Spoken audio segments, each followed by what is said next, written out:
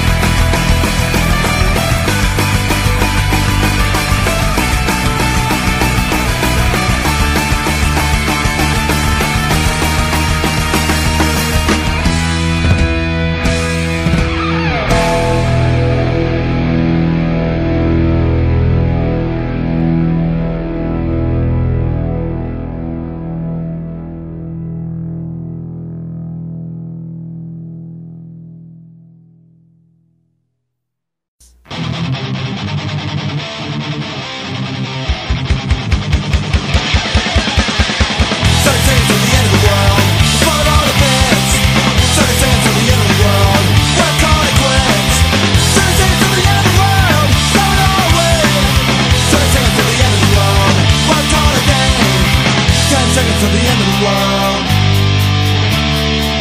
Five seconds to the end of the world.